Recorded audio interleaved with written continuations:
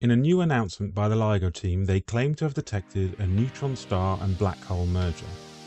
This finding would be several orders of magnitude smaller than the previous black hole black hole merger.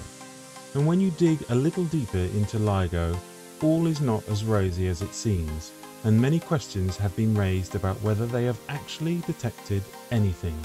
So let's find out more.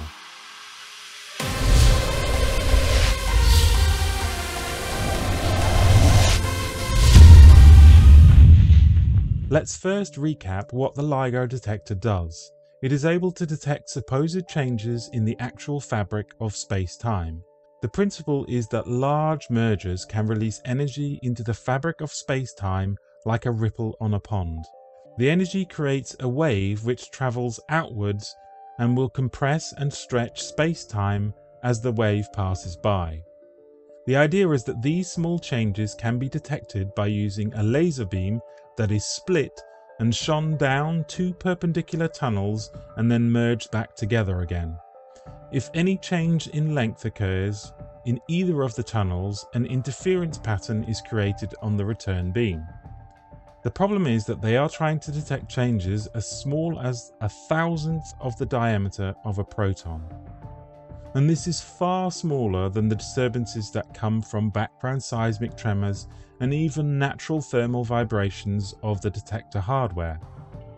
And this is why they require more than one detector. They corroborate the signal by knowing that these waves must travel at the speed of light. They subtract the common signal and what is left out is the ambient background noise. Now this is their main ploy for extracting the signal out of the noise. In a report published last year, Danish scientists wrote up a report and published it in the Journal of Cosmology and Astroparticle Physics, questioning the validity of the LIGO findings. Now this was a peer-reviewed paper.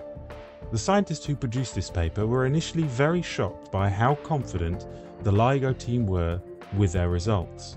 When they looked into the data and compared the raw signal to the cleaned up signal, they looked nothing alike.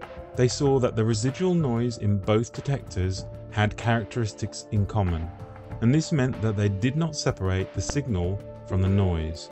And the problem is that they are looking for a signal in this noise, and they have to create a model of the noise in order to extract the signal, but the noise changes so much that this becomes almost impossible. And there is also no independent check on the collaboration's results.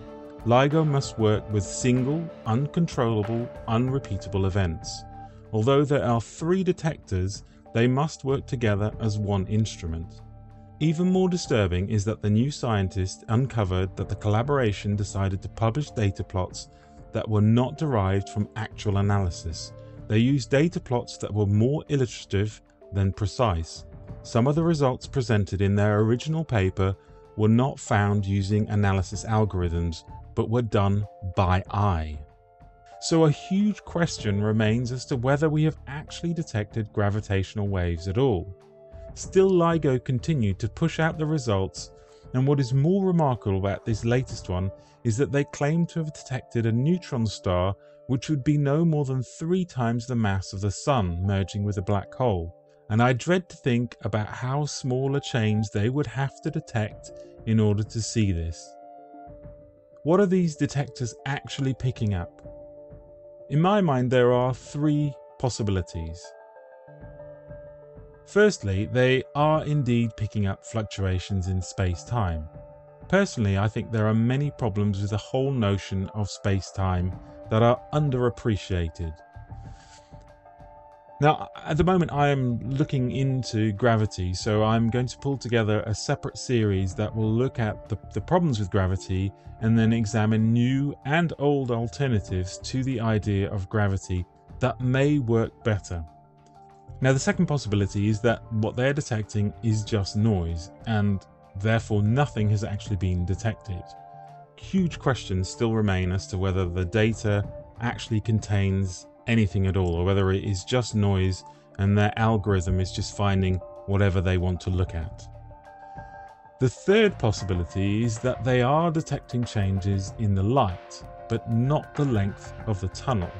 Now, through my research into alternative ideas on gravity, I am coming back to the idea of the ether, a medium for carrying light, and equally they may also be a medium for carrying gravity, and this may be the same or different from light. There are old concepts that allude to the interplay between these two, so could it be that the LIGO detector is measuring changes in the ether? Could it be that there is a separate gravitational ether which can affect the light ether? Now this does not mean that LIGO is detecting these black hole mergers, but it is more likely that these events are occurring more locally and that somehow it is warping the ether and the light. Now, these are early days into my research, but I wanted to share with you some of the initial thoughts on this to help you understand the direction that I'm heading in. But I would also be very interested in your thoughts on LIGO, gravitational waves, space time, and of course the whole concept of the ether.